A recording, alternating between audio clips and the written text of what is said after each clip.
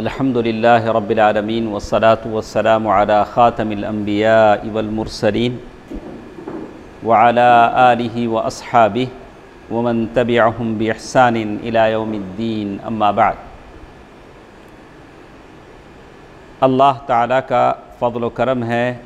उसका अज़ीम एहसान है कि अल्लाह के नबी सल्लल्लाहु अलैहि वसल्लम की सीरत सुनने के लिए हम यहाँ बैठे हैं तो अल्लाह के नबी सल्लल्लाहु अलैहि वसल्लम जिनके लिए अल्लाह ताला ने हुक्म दिया है कि उनका नाम सुनकर हम क्या करें? दरूद पढ़ें। इन अल्लाह मलाइकतहुसल्लून नबी। या युहल्लदीन आमनु सल्लु अलैहि वसल्लिमु तस्लीमा। अल्लाहुम्म सल्लि अला मुहम्मद व अला आलि मुहम्मद। कमा सल्लैत अला इब्राहीम व अला आलि इब्राहीम इन्नका हमीदुम मजीद। अल्लाहुम्म बारिक अला मुहम्मद व अला आलि मुहम्मद कमा बारकत अला इब्राहीम व अला आलि इब्राहीम इन्नका हमीदुम मजीद सबसे पहले जितने लोग मेरे साथ हैं सबको इस बात का एहसास दिला दूँ कि जिस ज़ात जिस शख्सियत जिस आदमी की सीरत हम पढ़ने जा रहे हैं वो कोई ऐसे मामूली इंसान नहीं हैं बल्कि वो इंसान हैं जिनके बारे में क़ुरान ने कहा व इन नकला खुलकिन अज़ीम. आप बेशक बहुत बुलंद अखलाक पर फाइज हैं। व इन नकला खुलकिन अज़ीम.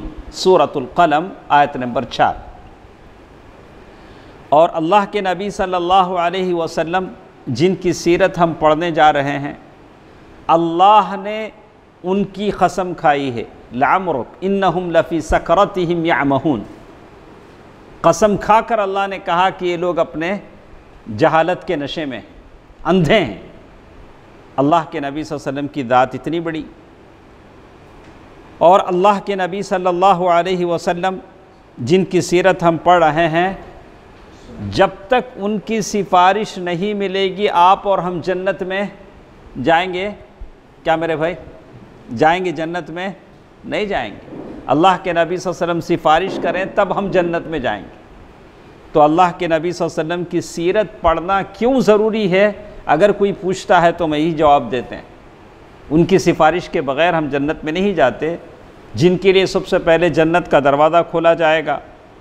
अल्लाह के नबी सल्लल्लाहु अलैहि वसल्लम जिनके लिए आसमान के दरवाज़े खोले जाते हैं और अल्लाह के नबी सल्लल्लाहु अलैहि वसल्लम जिनके लिए अल्लाह तबारक व ताली उनकी सिफारिश सुनेंगे, अल्लाह के नबी वसल्लम सजदे में गिर पड़ेंगे, अल्लाह ताला की खूब तारीफ़ करेंगे। तो मेरे कैफ, मैं हर दिन दर्स शुरू करने से पहले कुछ बातें आपको सीरत की अहमियत पर बोलता हूँ ताकि सीरत सीरत की अहमियत का एहसास मुझे और आपको हो जाए। उसके बाद फिर हम अपने निसाब पर आते हैं जहाँ से हमको पढ़ना है। अब तक अल्लाह के नबी वसल्लम के दुनिया में आने से पहले अरब उनकी क्या हालत थी, ये बातें हम पढ़ चुके हैं। ये हमारी तीसरी क्लास है। ये आज हमारी, ये तीसरी मजलिस है सीरत की। अब तक हमने बहुत सारी बातें पढ़ ली हैं।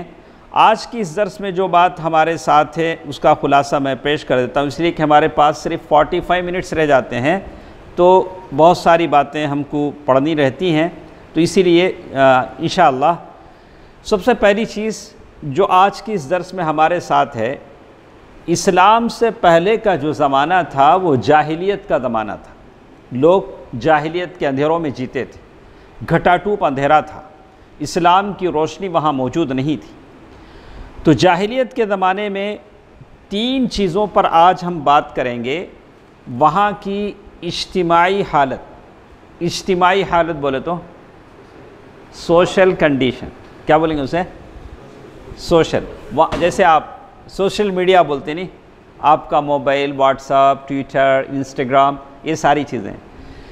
तो अल्लाह के नबी सल्लल्लाहु अलैहि वसल्लम से पहले अरबों की सोशल कंडीशन क्या थी? उसके बाद एक बात करते हैं, इक़्तिसादी। इसलिए कि अक्सर उर्दू के लफ्ज़ लोगों को मालूम नहीं होते हैं। कल एक साहब ने फ़ोन किया तो बताया आप चुनाचे चुनाचे क्या बोलते हैं? तो इनको नहीं मालूम चुनाचे क्या होता है। तो मेरी कोशिश ये है कि मैं आसान से आसान बनाऊँ ताकि आप समझें।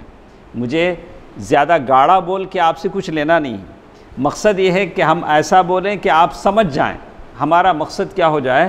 पूरा हो जाए। दूसरी चीज़ है इकतसादी हालत। इकतसादी हालत है इकनॉमिकल कंडीशन अल्लाह के नबी वसल्लम के आने से पहले अरबों की इकनॉमिकल कंडीशन क्या थी?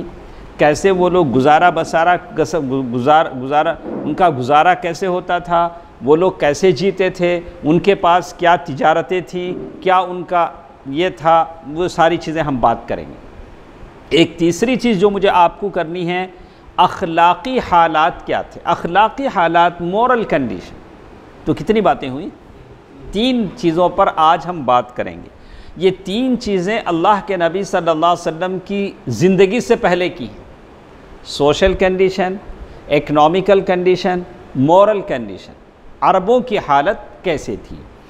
चलिए सबसे पहले चलते हैं इज्तिमाही हालात। वहाँ की सोशल कंडीशन कैसी थी? तो अरबों के पास दो तबक़े थे। जैसे यहाँ हिंदुस्तान में एक ज़माने में कई तबक़े थे। ब्राह्मण का एक तबक़ा था, छतरी जिसे कहते हैं वो अलग तबक़ा था, शोदर जिसे कहते हैं उन्होंने तबक़ाती ज़िंदगियों में बांट दिया था। कोई शोदर ब्राह्मणों की गाँव में दाखिल नहीं हो सकता था। घंटी बजा के दाखिल होता हट जाओ हट जाओ, शोदर आ रहा है। किसी को छू नहीं सकता था, उनके मंदिरों में जा नहीं सकता था। एक तबक़ाती ज़िंदगी ये लोग जीते थे। वैसे ही अरबों के पास भी तबक़त अशराफ बड़े लोगों का एक कैटेगरी था। उसके बाद छोटे लोगों की एक कैटेगरी थी। लेकिन दोनों कैटेगरी में सोशल कंडीशन उनकी ऐसी थी कि जिना बदकारी बिल्कुल आम थी। जिना बदकारी बिल्कुल दोनों कंडीशन में चलती थी। तबक़त व अशराफ में क्या होता था? औरतों को थोड़ी इज़्ज़त थी।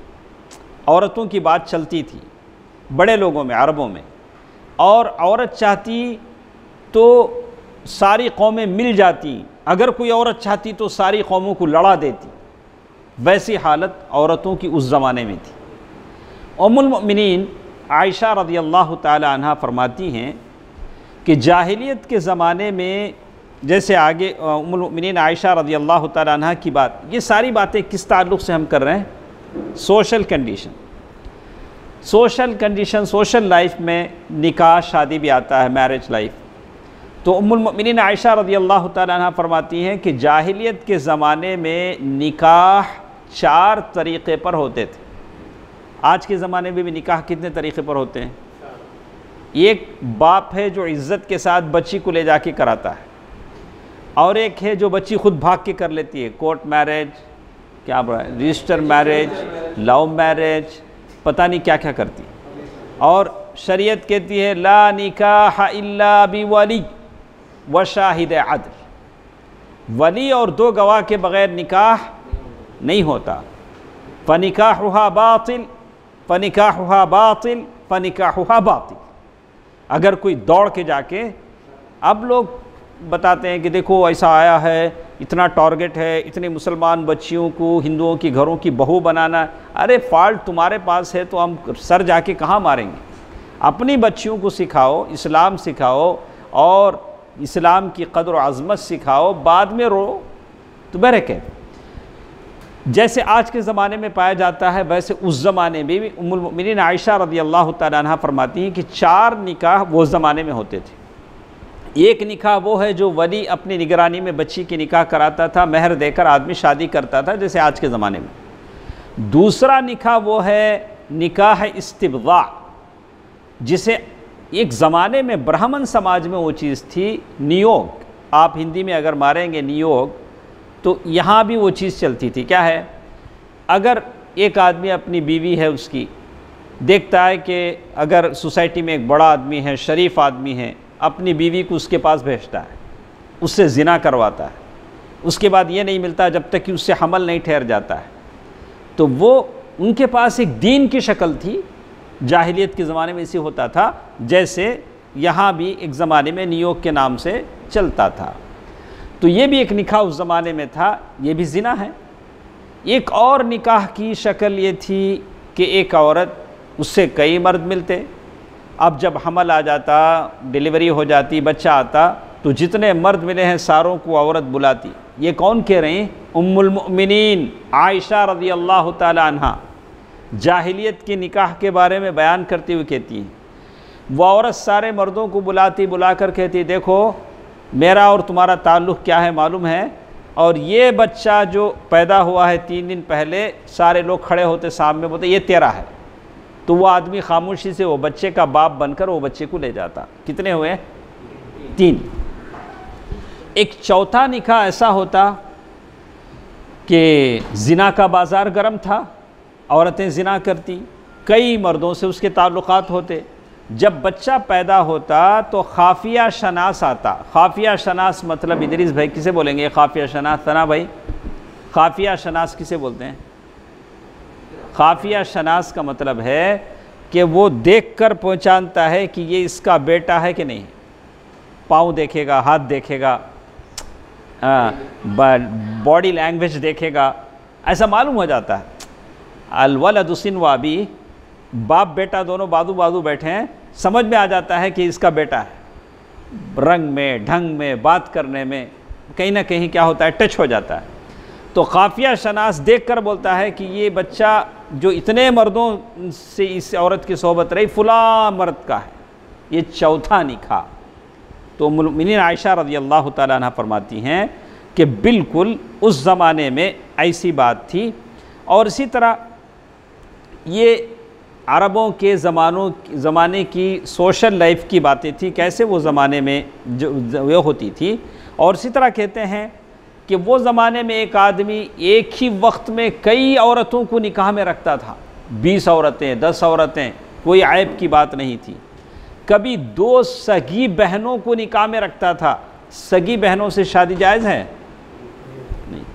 लेकिन हमने सुना, एक साहब आए कहा कि हमारी, हमारे अब्बा ने शादी किया, हमारी अम्मी और हमारी खाला दोनों बहनें हैं। अब वो अंधा खाजी पढ़ाया निखा। खाजी को तो एहसास होना चाहिए, भाई मैं जो निकाह पढ़ा रहा हूँ, दोनों बहनें हैं।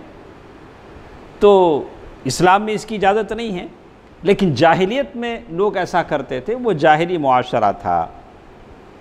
इसी तरह से आदमी सोतेली माँ से शादी करता था अलियात बिल्ला ये भी जाहिलियत में होता था।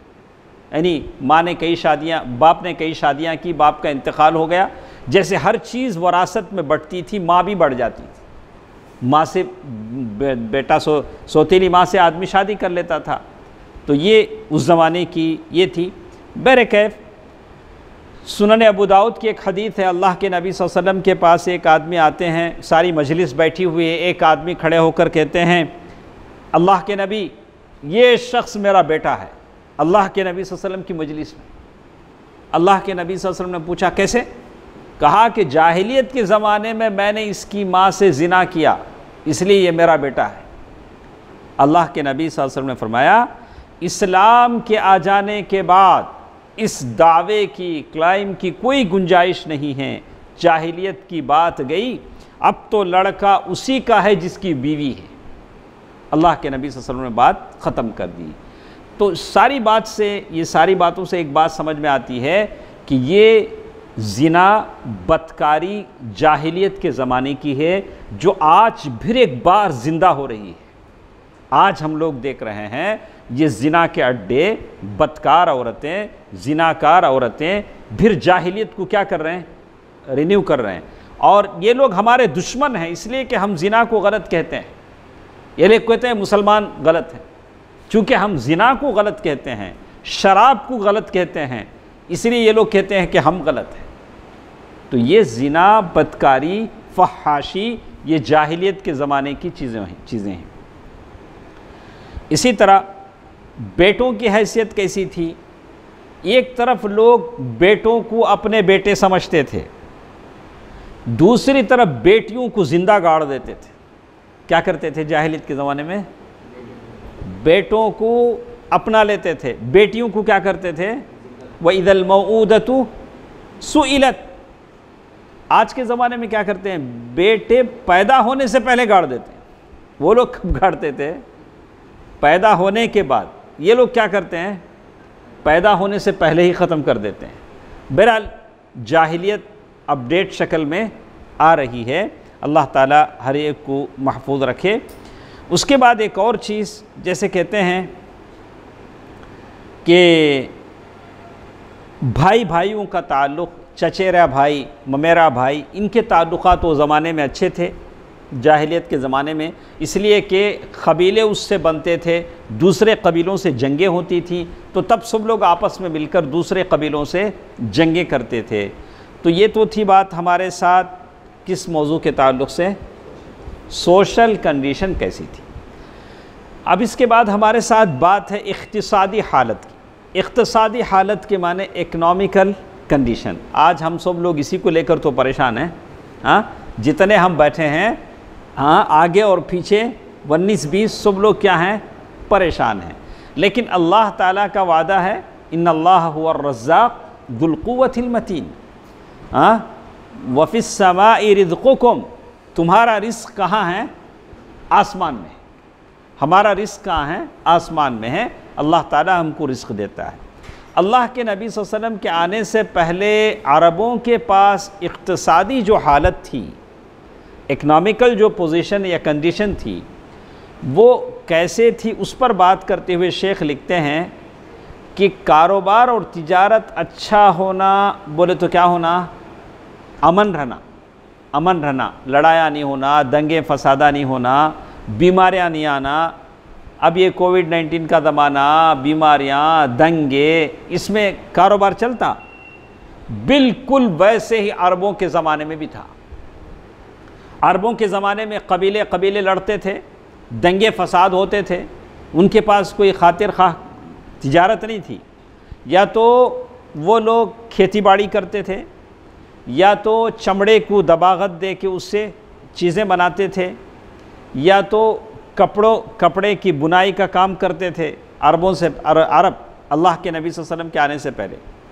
अलबत्ता, उनका जो कारोबार था लीलाफ़ी क़ुरैश इलाफ़िम रहलत वसैफ़ साल में दो मरतबा, मुहर्रम के महीनों में वो कारोबार के लिए सफ़र करते थे।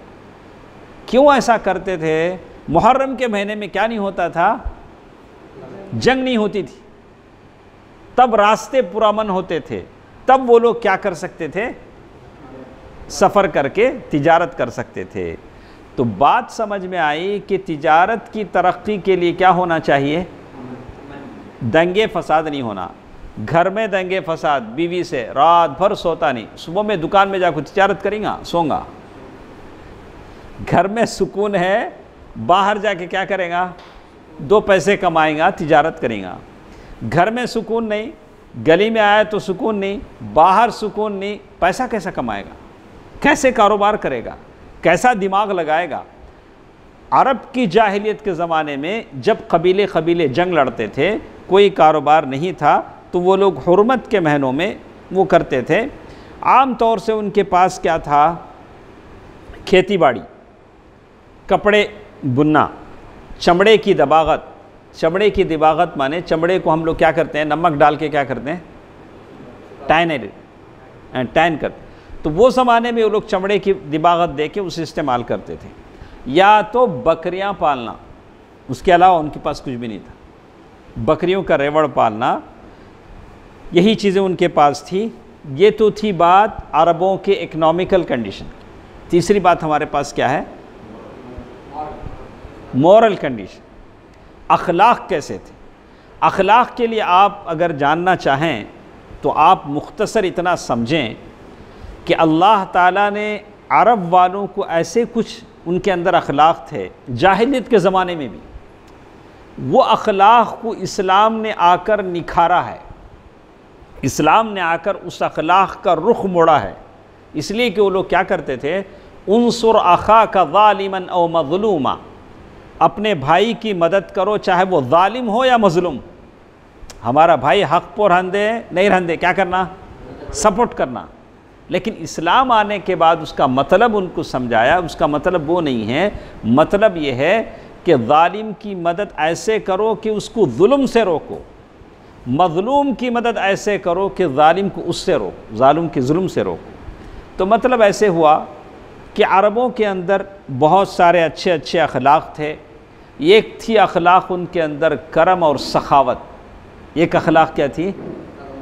करम और सखावत। सखावत के माने क्या? देना। अब अचानक ऐसा हुआ, सोब हमें सुहेल साहब के घर चले गए। सुहेल साहब के पास क्या भी नहीं है। उनके पास खाली एक ऊँट है जिसमें उन्होंने सारे घर वालों को पानी लाते, सारे घर वालों का सहारा समझिए अल्लाह के बाद, वो ऊँट। लेकिन मेहमान नवाजी उनके अंदर ऐसी थी कि वो ऊँट भी क्या करते हैं? ज़बाह करके लोगों को खिला देते। माशा अल्लाह ताला। क्या करते हैं? हाँ? लोग बताते हैं, अरबों की तारीख बताते हुए कहते हैं कि एक साहब थे, नाबीना, उनका नाम भी उन्होंने लिखा, नाबीना थे। तो दूसरे साहब जाके बोले, देखो, मैं दूर से आया हूँ, मेरे पास कुछ भी नहीं है। उनके पास एक ये था ग़ुलाम हबशी। उनको सहारा दे के उनको रास्ता बताता था। तो ये क्या किए मालूम? वो ग़ुलाम उठा के उनको दे दिए, दीवार का सहारा लेके चलने लगे। सुहाना तो अरबों के पास एक चीज़ क्या थी? करम और सखावत। आज भी वो सखावत उनके अंदर है। अल्लाह ताला ने वो चीज़ उनके अंदर दी थी। इसीलिए वो लोग ये करते थे कि शराब जितना पीते उतनी सखावत करते। अरब क्या करते थे? शराब पी के मदहोश हो गए तो जेब से निकाल के देते आज भी ज़रा शराबी क्या करते हैं?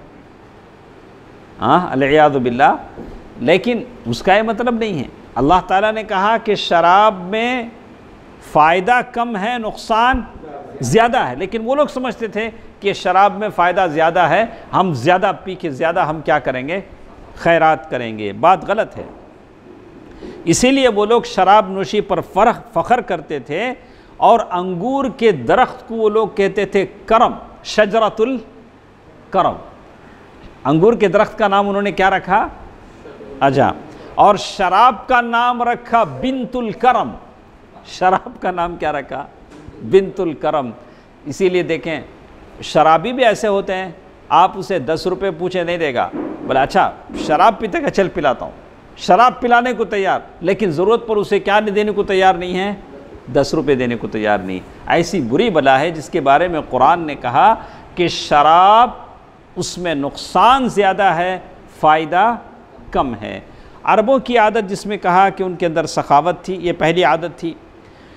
इसी तरह जैसे कुरान ने कहा वह इसमुहमा अकबर मिन नफ़ीमा और एक आदत उनके अंदर बयान करते हुए शेख लिखते हैं, वफ़ाए आहद वफ़ाए अहद के माने जो वादा अरब करते थे, उस वादे को क्या करते थे? पूरा करते थे। और मुनाफिक है जो वादा करके क्या करता है? वादा खिलाफ़ी करता है। अरे, कुछ करो, कल कर तो वो कल कभी आता नहीं।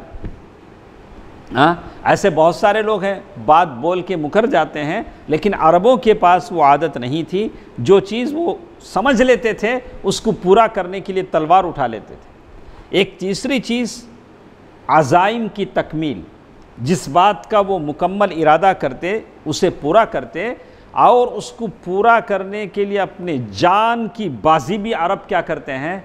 लगा देते हैं। तो ये अरबों की मॉरल कंडीशन थी। तीन ना हमने सुने? एक सोशल कंडीशन दूसरा इकोनॉमिकल कंडीशन तीसरा मॉरल कंडीशन तो उसके बाद वो कहते हैं, अरबों के अंदर बुरदबारी थी। संजीदगी थी। आज भी आप अरबों को देखेंगे कि मस्जिद में नमाज़ पढ़ के किसी की गिबत नहीं करेंगे। आज हम लोग क्या करते हैं? मस्जिद में नमाज़ पढ़ते, बाहर आके क़स्से, कहानियाँ, इसकी, इस पर तबसरा, उस पर अरब ऐसा नहीं करते। हर एक अपना अपना। अच्छा है, कोई काम करेगा, नेकी का साथ देगा, लेकिन गीबत नहीं करेगा। किसी के ताल्लुक़ से गलत नहीं बोलेगा। ये चीज़ जाहिलियत के ज़माने में उन साथ, उनके साथ थी। इसी तरह एक और चीज़ अरबों की इन्होंने बयान की, बदवी और सादगी। अरब के लोग मैदानों में रहते थे सीधा सादा ज़िंदगी रहती थी, वो टेंट लगा के जीते थे, ऊँट रहता था, ऊँट का दूध पी लेते थे, उनकी ज़िंदगियों में सादगी थी। ये ईमान का एक हिस्सा है, आदमी सीधा सादा ज़िंदगी रहे, और ये भी अल्लाह ताला की एक देन थी। आखिर में शेख लिखते हैं इन्हीं इरादों की वजह से, इन्हीं आदात की वजह से अल्लाह ताला ने अल्लाह के नबी सल्लल्लाहु अलैहि वसल्लम को कहाँ पैदा किया? अरब में पैदा किया। अल इस्लाम आने के बाद ये सारे आदतों का रुख मोड़ दिया गया। उनसुर आखा का ालिमन और मजलूमन का मफहम समझाया गया। सुजात, करम और तवाज़ो इनकी सारी और सादगी इसका मिजाज समझाया गया। एक साहब आए, बोले कि अल्लाह के नबी वसल्लम, मुझे अच्छा जूता पहनना खूबसूरत लगता है। तो अल्लाह के नबी पहनो इन अल्लाह जमील युहिब्बुल जमाल। अगर आप अच्छा खूबसूरत ड्रेस पहनना चाहते हो, पहनो। कोई बात नहीं है सादगी के ख़िलाफ़ नहीं। तो ये तीन हालतें थी जो आज की इस दरस में हमने पढ़ा। तो गुज्त दो दरसों में, आज हमारा तीसरा दरस तो हमने अरब के बहुत सारी बातें हमने सुनी। अरब की सियासी हालत, पॉलिटिकल कंडीशन क्या थी हमने पढ़ लिया। अरब में कौन से दीन थे, वो सारी बातें हमने पढ़ ली। ईसाइत यहूदियत मुलहिदाना ज़िंदगी जो कुछ थी, सारी बातें हमने पढ़ ली। आज हमने तीन बातें पढ़ ली। चलिए अब चलते हैं ख़ानदान नबूत पर माशा अल्लाह के नबी वसल्लम की ज़िंदगी और ख़ानदान की बात इन हम लोग शुरू करते हैं। हमारे पास वक्त है? पंद्रह लाख। माशा बात बहुत ज़्यादा टाइम है। हाँ पंद्रह मिनट बहुत ज़्यादा है। तो ख़ानदान नबूत पर जब बात करते हैं तो एक चीज़ होती है, जितने मेरे सामने बैठे हैं, रफ़ीक भाई, अकरम भाई, आप लोग अपना ख़ानदान के बारे में क्या जानते हैं? इद्रिस भाई माशा आपके अब्बा आपके अब्बा के अब्बा सनाउल्ला भाई। आपके अब्बा के अब्बा क्या कहाँ तक जानते हैं? मैं मैं मेरा नाम अब्दुल वाहिद है। मेरे अब्बा का नाम अब्दुल हफीज़ उनके अब्बा का नाम अब्दुल रहीम उनके अब्बा का नाम शेख मौला। कितने हुए? चार। हाँ आप कितने जानते हैं? हाँ, चार? चार ही। आप भी चार? तीन। आप? दो। आप? दो। अल्लाह के नबी सस फरमाया कि नसब जानो। नसब जानोगे तो तुम क्या करोगे? खैर खाही करोगे। मालूम होगा कि ये तुम्हारा ख़ानदान से मिलने वाला भाई है। तो अल्लाह के नबी वसल्लम का जो लीनज है, जो नसब है, वो तीन तरीक़े से आता है। उसके तीन अलग अलग हैं। एक नसब जाते जाते आदनान पर ख़त्म हो जाता है, जैसे आप तीसरे दादा पर ख़त्म हो गए। वैसे अल्लाह के नबी वसल्लम का एक नसब जाकर कहाँ ख़त्म होता है? आदनान। क्या नाम पर ख़त्म होता है? आदनान। और एक लाइन जाती है, इब्राहिम आसमाम पर ख़त्म हो जाती है। और एक लाइन उससे आगे जाती है, आदम आसमाम तक जाती है। अल्लाह के नबी वसल्लम का नाम, उनके अब्बा अब्दुल्ला वैसे जाते जाते कहाँ तक जाती है? लेकिन शेख लिखते हैं कि इन तीनों रास्तों में से सही जो चलता है, कहाँ तक चलता है? आदनान तक। शेख कहते हैं आदनान तक। तो ये अदनान से ऊपर तीसरे हिस्से में जिसमें यकीनन कुछ गलतियाँ हैं। तीसरा जो हिस्सा आदम सलाम तक जाता है, उसमें कुछ गलतियाँ हैं। और दूसरे हिस्से में अहल सियर का इख्तलाफ है। लेकिन पहला हिस्सा जो अदनान तक जाता है, उसमें किसी तरह का क्या भी इख्तलाफ नहीं है। तो ये तो था, वो तीन हिस्से यहाँ बयान करते हैं। पहला हिस्सा हम लोग अलबत् जान लेंगे, मोहम्मद अलैहि वसल्लम अल्लाह के नबी वसल्लम के अब्बा का नाम अब्दुल्ला उनके अब्बा का नाम अब्दुल मुत्तलिब। अब्दुल मुत्तलिब, हम बोलेंगे अब्दुल मुत्तलिब असल नाम नहीं था उनका। असल नाम था शैबा। असल नाम क्या था? शैबा। शैबा क्यों था? हम लोग सऊदी अरब में, अरबी में क्या होता है? अंत शैबा वल्ला शाब अंत शैबा वल्ला शाब बोले तो आप बुढ़े हैं या जवान हैं? चूँकि पैदाइश के बाद अब्दुल मुत्तलिब के बाल थोड़े सफ़ेद थे। जैसे हमारे बाल सफ़ेद हो गए वक्त से पहले तो उनकी अम्मी ने उनका नाम शैबा रख दिया। बूढ़ा। अरे, बूढ़े सर हैं तुम्हें। तो वो नाम क्या हो गया उनका? शैबा पड़ गया। बाद में जाके अब्दुल मुत्तलिब पड़ा। हम आपको बताएँगे अब्दुल मुत्तलिब कैसे नाम पड़ा। अब्दुल मुत्तलिब और आगे हैं अब्दुल मुत्तलिब के अब्बा हैं हाशिम। हाशिम का असल नाम था अमर। हाशिम कैसे बना? ये कहत साली के ज़माने में लोगों को रोटियाँ तोड़ तोड़ के शोरबे में डाल के बांटते थे। जैसे आप लोग बांटे नहीं? अब किसी को जान अच्छा उनो अच्छा वो टाइम वो खाना बांटे सुनो तो हाशिम का नाम भी, असल नाम क्या था उनका? अम्र। वो रोटियाँ तोड़ तोड़ को शोरबे में डूबे डूबे को लोग खिलाते थे। उससे क्या हो गया उनका नाम? हाशिम हो गया। देखिए, माशाल्लाह काम अच्छे करते हैं तो नाम भी बदल जाते हैं और काम बुरे करते भी तो नाम बदल जाते हैं, तब भी नाम बदल जाते हैं। हाशिम बिन अम्र, हाशिम अम्र, और उनके अब्बा का नाम है अब्द मुनाफ बिन कुसई जैद उबनो कुल्लाब बिन मुर्रा बिन काब बिन लोई बिन गालिब बिन फ़हर, और आखिर में जैसे कहते हैं माद बिन अदनान, कहाँ जाकर ख़त्म होता है? अदनान पर ख़त्म होता है। ये तीन हिस्से हैं जो बताए गए हैं। उसके बाद एक और चीज़ जो अल्लाह के नबी सल्लल्लाहु अलैहि वसल्लम के ताल्लुक़ से, पहले ताल्लुक़ से हम जानेंगे। इतना आप जान लें कि अल्लाह के नबी वसल्लम के तीनों इसमें से पहला ये है जो सही है ज़्यादा, वहाँ तक आप याद रखें। लेकिन अल्लाह के नबी वसल्लम के दादों में से एक दादा कौन है वो? हाशिम। हाशिम का नाम आता है। उनके ताल्लुक़ से जानना ज़रूरी है। हाशिम अब उनके ताल्लुक़ से, उनका नाम क्या था असल नाम? अम्र। अम्र। तो उनके ताल्लुक़ से कहते हैं, ये क्या करते थे? हाशिम वो हैं जिन्होंने मक्के में हाजियों को रोटी शोरबे में डुबो डुबो कर हाजियों को खिलाया है। इसलिए उनका नाम क्या हाशमा, तोड़ना। हाँ उनका नाम हाशिम पड़ गया। और ये वो हैं हाशिम जिन्होंने दो सफ़र की बुनियाद डाली क़ुरैश के लिए। लीलाफ़ी क़ुरैश इलाफ़िम रहलत शिताई वसाई और ये अम्र हाशिम, जो कहत सारी के ज़माने में लोगों को रोटी खिलाते थे।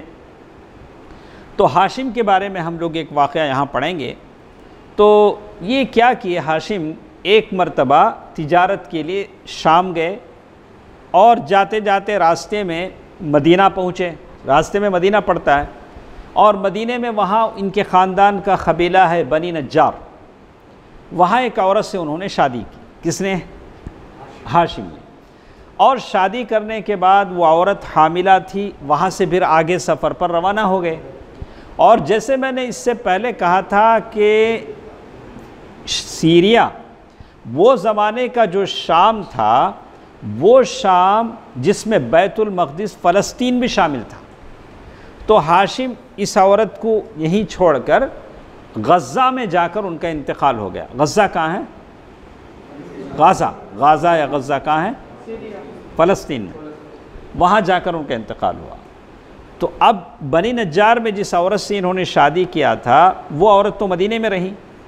तो वो औरत के से जो बच्चा पैदा हुआ, वो बच्चे का नाम शैबा है। शैबा है। और शैबा और और एक नाम क्या था उनका? अब्दुल मुत्तलिब। उनका नाम क्या है? अब्दुल मुत्तलिब। और माँ ने क्या नाम रखा है? शैबा। चूँकि बच्चों के, बच्चे के बाल सफ़ेद थे तो माँ ने रख दिया शैबा। अब ये बच्चे के ताल्लुक़ से किसी को नहीं मालूम, ख़ानदान वालों को। हाशिम जाते जाते शादी किए, बच्चा हुआ, नहीं मालूम। बाद में अब्दुल मुत्तलिब को मालूम हुआ। अब्दुल मुत्तलिब क्या लगते हैं शैबा के? अब्दुल मुत्तलिब शैबा की क्या लगते हैं? दोनों का क्या रिश्ता है? भतीजा। नहीं नहीं नहीं ये कौन है?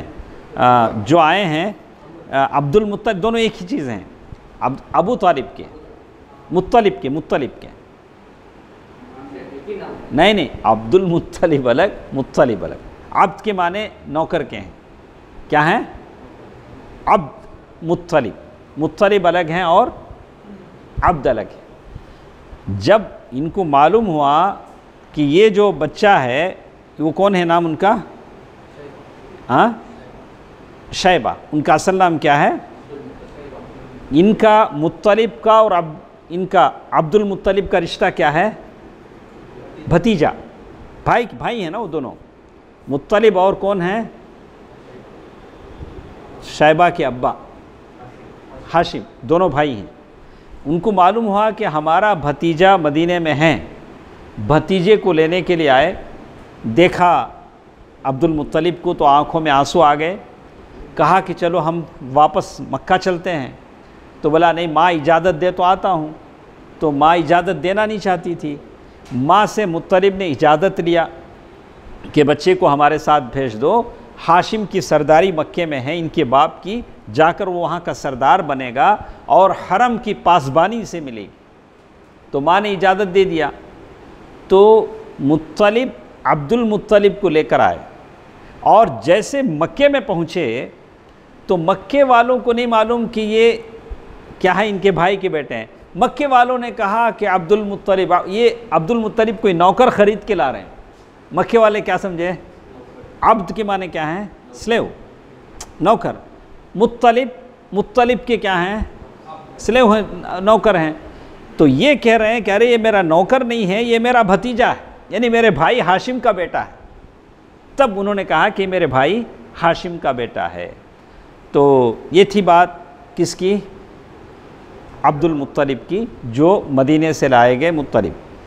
अब जब मुत्तलिब का इंतकाल हो गया। जब तक मुतलब थे, हाशिम के बाद मक्की की सारी चीज़ें उनके पास थी।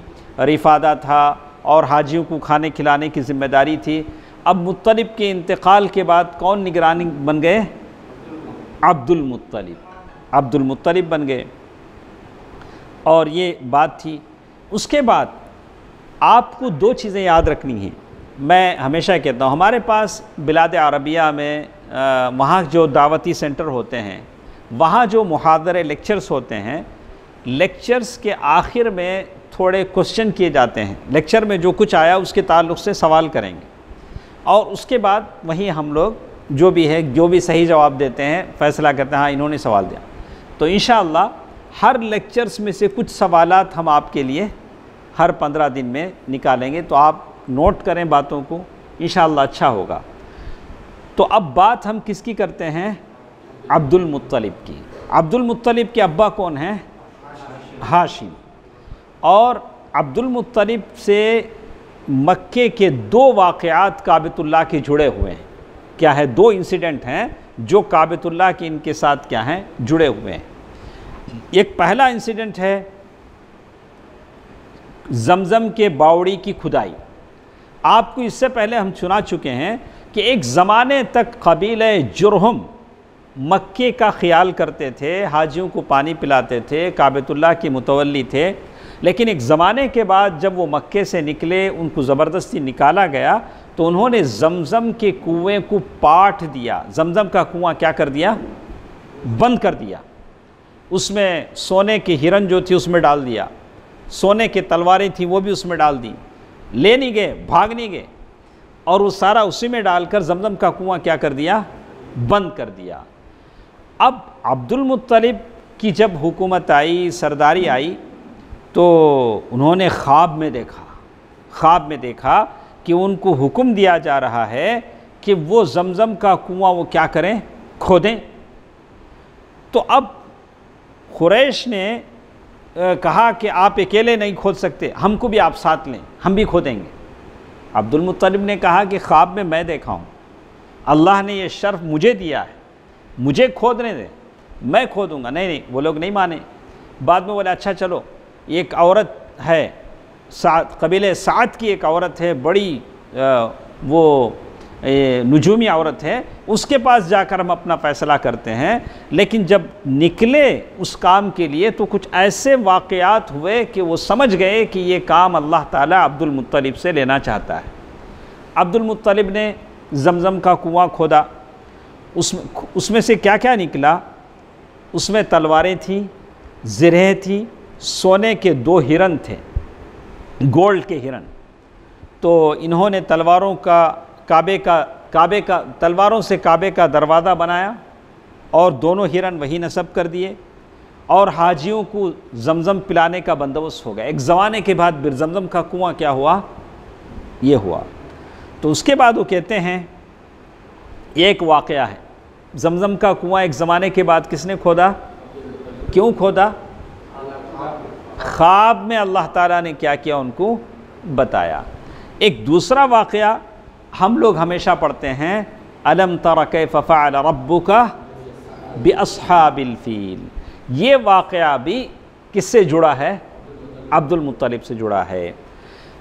वहाँ करीब में नजाशी जो बादशाह हबश, एथोपिया का जो बादशाह था, उसका नाम था अबराहा सबाह अबराहा, वो बादशाह था।